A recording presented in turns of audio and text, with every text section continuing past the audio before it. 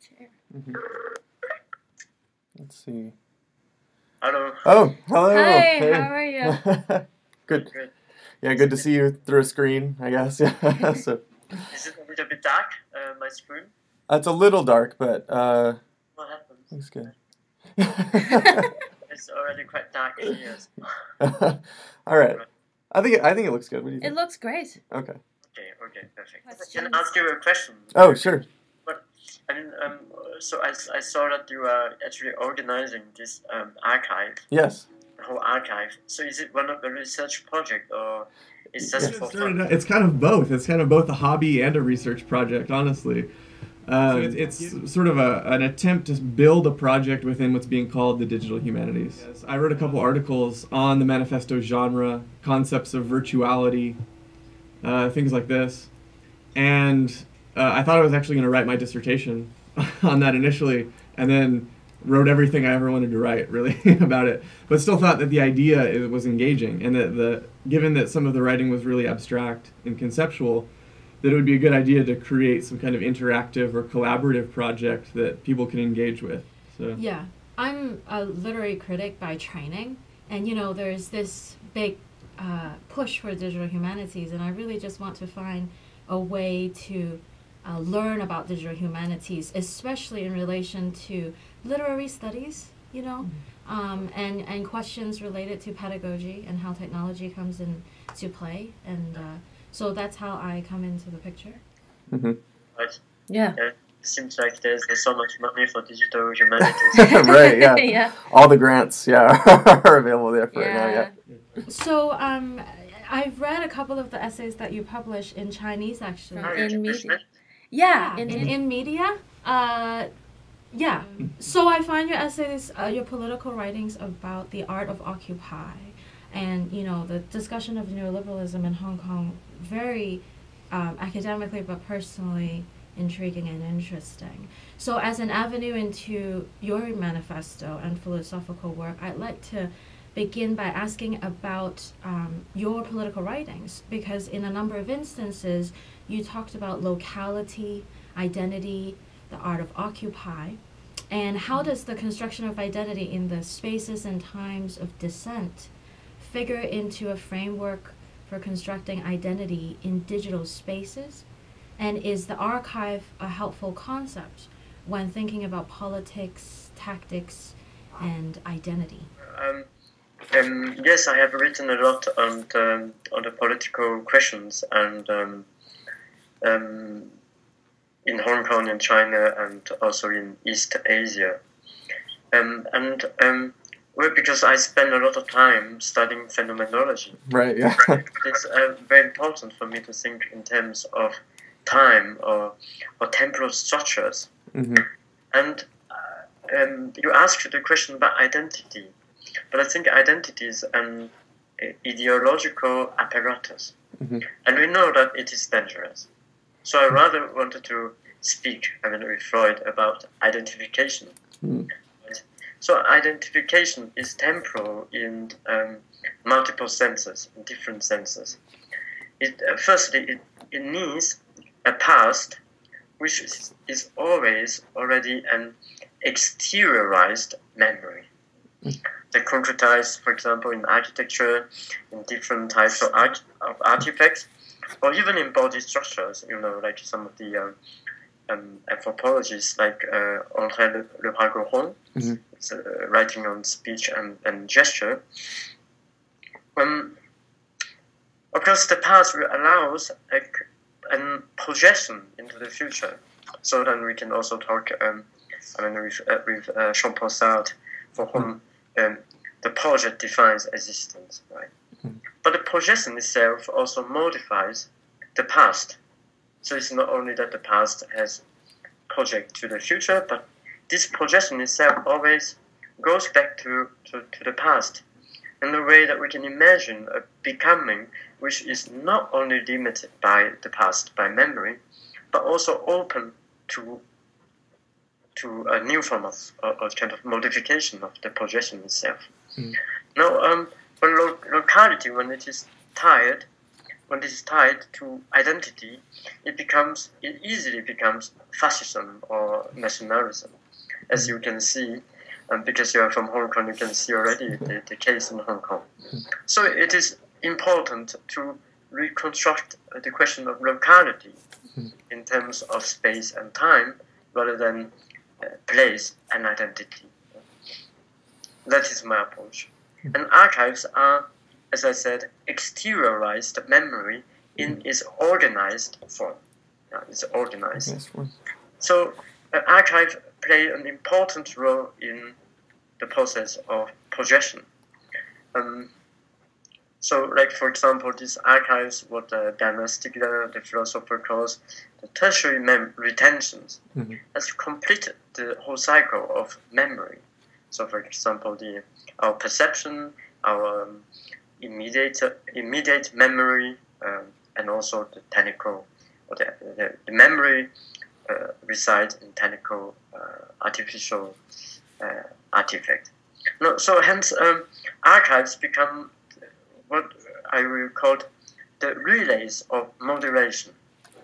And hence, the way we handle archives could lead to a closer or a continuous opening uh, in political terms.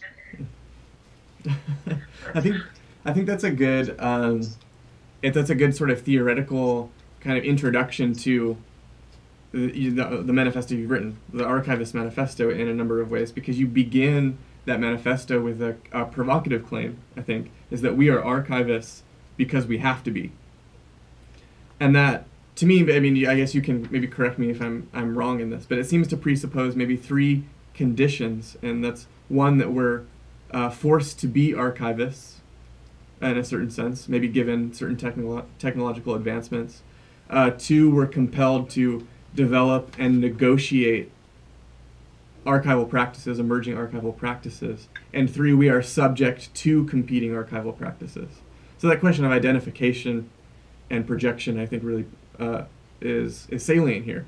But I'm wondering, I guess, if I have that uh, that presupposition correctly, if you know we're archivists because we have to be because of these conditions, I'm wondering if you can maybe give a little bit more historical context to that, and maybe talk about what technologies in particular um, sort of allowed this to happen. Yeah, I mean, um, like um, since the very beginning, we always archive things that we have. Yeah. But we don't call ourselves archivists. You have toys, you have books, you have uh, Mhm. candies, for example. Someone likes to collect candies. Mm, But I think that we, we are at a moment of our history where the production of these artificial traces Mhm. have uh, multiplied in kind almost an exponential rate. yeah. Mhm. So, for example, our traces on the social networking websites, and on the clouds, on uh, all kind of applications that you have on a smartphone or Right. devices. And I think in the pre-digital age, um, I don't think uh, an individual could leave this amount of traces hmm unless you are you are you are you are followed by the FBI or. or Right. And today, these traces are self-produced in the in the digital environment, and that is also why I insist that in the digital uh, epoch, we need to pay attention to how these data are processed. Um, To be an archives mean, means that one has to take care of his or her own data, or, or what we call a, a digital object. Mhm. Um, but this is not possible at all if all these services are run by the big industrial players. On the other, on the other hand, these industrial players they are storing and processing our data with algorithms designed for deriving patterns, enhancing uh, their predictions, Mhm. uh, for the sake of marketing, uh, mostly, and that's also why the um, you know the law scholar Antoinette Rouvroy calls the situation now we are having data behaviorism, hmm and indeed it's a problem that we have to, to address today. And I think uh, um, from the perspective of archivists, we can at least tackle this question in both theoretical and practical ways. So that's why I said like now we have to be archivists because there's no choice. Right, and I think that you know, so you mentioned uh, in the, the Archivist Manifesto, you mentioned um, Google, you mentioned like Facebook, things like this, and uh, I guess in, in reference to those, um, those kinds of corporations, right? You make some a distinction between navigable and unnavigable archives, and that, I guess that's a question about how how data is collected, how it's um, open uh, to be accessed, and and things like that. So I'm wondering, uh, first of all what is the difference between unnavigable and navigable archives? And second, going back to these uh, corporations like Google and Facebook, if an archive is navigable, is it necessarily more transparent or open? Right. Um, yeah, I think very good questions, and, and I think we have to, to put transparency and um, um, and um, being na- uh, navigable as two two questions. Um, yeah. Means that you cannot participate. Mm-hmm. Or you only have one or two ways of participating. No, I mean, I can give you an example. Like you are, we are doing the interview now, and then we are going to, for example, we are going to put uh, two hours video online. Mm-hmm. Uh, because I know it's not so long. Mm-hmm. Assume that we are by the end we have two hours video. Right. Now uh, there is only one way of linear reading, right? Mm-hmm. So if you put it on YouTube, um, then I have to, to, to, to, to watch it from the beginning until the end in order to find that piece of information that, um, that I want. But let's consider another case. If the video itself is well annotated, according to, for, for example, questions, because you ask me a question and I answer, and if these segments are already annotated, or even a, a, certain concept itself. For example, we talk about care, and the, mm. the concept of care is annotated. Then the user can navigate and participate in a way that is more active and also more selective. Right. Um, but um, it doesn't mean that when something is more navigable, then it is more transparent. Mm. Things can be transparent without being uh, navigable. On the other hand, being uh, navigable like Google doesn't mean that it has transparency. Right. So that's a um, um, rather. I mean, it's between between being uh, navigable and transparent. There is some something really really tricky here, and I think like for example, uh, in terms of uh, navigability, um, Google seems to be really. Navigable, um, and it is a way what I call the industrial democracy. Mm-hmm. It's a form of democracy that is present in the, in all kind of this uh, the, uh, the participatory culture mm-hmm. now in almost all the uh, these giant uh, companies, but it has nothing to do with transparency. Right. I think that question of annotation is really interesting because as we've sort of built this archive on digital manifestos, you know we've thought about okay how do we make this more interactive? Um, and so that you know doing interviews like this is maybe one avenue but we've also just started discussing the idea of having of, of annotation. yep. Um, right because that it allows it potentially allow authors to give some kind of annotation users to annotate um, these manifestos and that seems to be a really productive and possibly beneficial avenue of you know opening an archive um, so I want to go back to uh, your arch- uh, archivist manifesto about you talked about a tension at the institutional level where public institutions are forced to or compelled to open their archives as a result of new digital um, strategies. And um, at the same time these public institutions continue to organize and maintain their archives in a centralized way. And so what are some examples of this tension and what does this tension mean for the preservation of digital objects? Um, um, the, the concept archive is a um, concept of um, the modern, right? So in the modernity, you always need a monument for mm. your institute. Mm-hmm. So the archive is a kind of like a monument, as Foucault has said. right. But of course now that they uh, that um, organization has some a lot of pressure to open the archive because of digitization, because of the relation with the public. Um, but the question, I mean, especially with um, bigger institutes, the question is always about the authority right. of the organization itself, which tends to limit the public uh, participation. And this limitation is imposed by the, the knowledge and the code, the code of conduct of the institute itself. So let me give you a concrete example. What happens, like if you consider you are um, a big organization, and what happens if someone leaves some comments with a vulgar language? Mm. Now, you, of course, you have to filter, um, but then you have to, to employ one person to, to, to maintain that these argue these comments are where mm-hmm. uh, written. Also, it could be also, also other kind of annotation as well. Right. So, but by doing this, it necessarily maintains the institute's power of categorization and annotation. Hmm.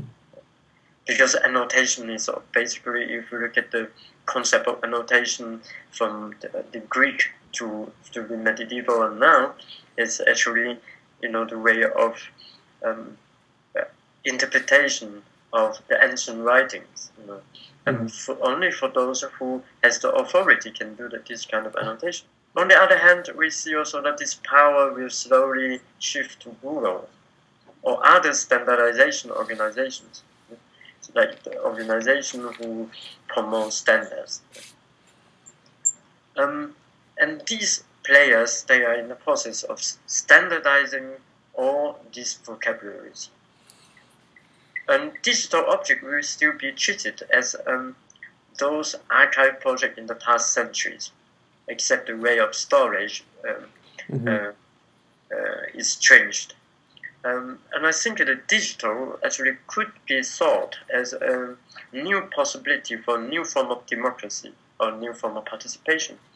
But it will be finally be restricted um, by this kind of industrial democracy that I have described before.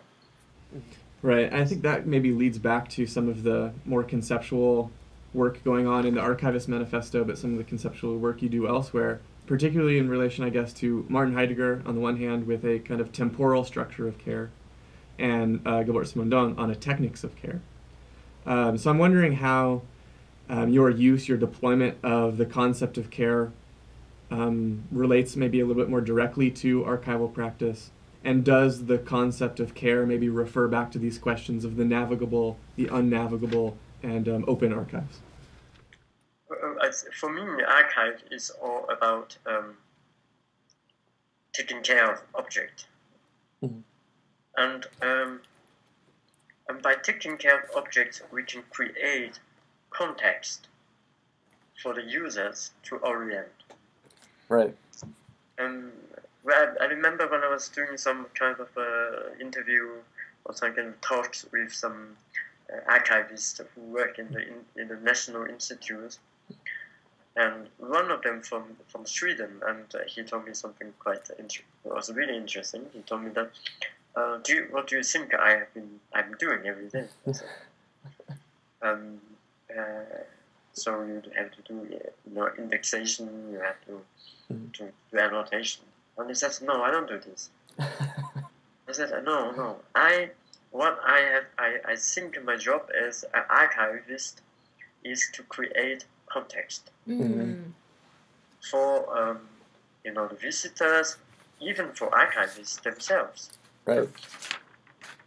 So I think that that is something that uh, that creating context in, in related to archive has to really be distinguished from just storing, because now we with uh, cloud computing with Google, we basically just store our things there, mm-hmm. create context ourselves because it's not possible. Um, so I prefer to, to, to use the word orientation than navigation. Mm, okay. Uh, since orientation gives you a more a sense of direction Navigating it means that you uh, get you, you get used to it and then you can move uh, in the way that you like.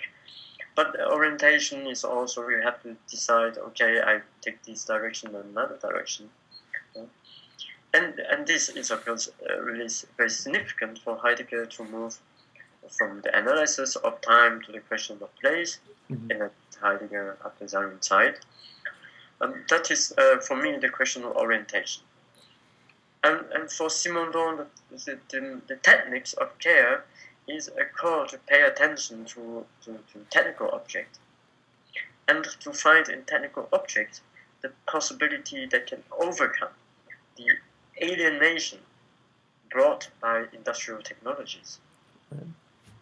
And I think technical ob- uh, digital objects, which consist of the of the archives today, um, are central to for us to reconfigure these possibilities. And firstly, the question of time related to Heidegger, and also the secondly the realization of such um, uh, an existential critique through uh, the result of the technical details and technical design of a digital object. Right. So I guess uh, maybe I have uh, maybe one final question. I get, and that is, um, why a manifesto? Why did you decide? Why why the manifesto genre? Why articulate these concerns? You know, in, in that genre, um, and maybe what was the impetus to to write a manifesto? Well, but this is a good question, but the answer is probably not so great. But because we we, we, we um we had um we had a workshop on the question of archives. Um, you know, because archive is really a, a big subject now uh, for academic research. right. Uh, there's a lot of money available to Mhm. open up archives, as we have said before. And what struck me, because since um, uh, many years I have been working with archives, but they are all archives of organizations, you know. Um, and there's not much attention being paid to what I call individual or personal archives Right. because we don't think that we don't we don't we, we haven't yet extended this notion of uh, archive to individuals. hmm So it's uh, why for me it seems like it's a there is a, a political need there to propose this concept of the personal archives. Um, and because of this, so I have, I decided to call it a manifesto, and then start with the sentence that we have to be to be archivist. And it's really interesting that at the same time, a few months after, um, I have noticed that, like for example, the um, the Library of Congress or the Congress Library, I always confused Yeah, Library of Congress. Yeah. the Library of Congress. They have a, they have released um, a, a pamphlet um, which is about developing um, p- personal archives. Mm-hmm. You know, they also recognize that well, it's a, a really important question to to address now. So um, so yeah, that is one of the um, the, the major uh, reason that I has, um, that I have written it, and at the same time. Um, I mean, in between and afterwards, I have researched on some of the open source um, tools of personal archive. Um, but so far, according to my knowledge, I couldn't find any Mm. personal archives. There are some commercial arch- uh, archival uh, softwares that you can use to manage your, dig- uh, your digital objects. Right. Um, in, in terms of open open source, it's not yet available. Yeah. So I think that um, there is a, also kind of urgency that uh, those who want to develop archives or archival projects should think about um, the, the, the personal archives. Mhm. Mm-hmm.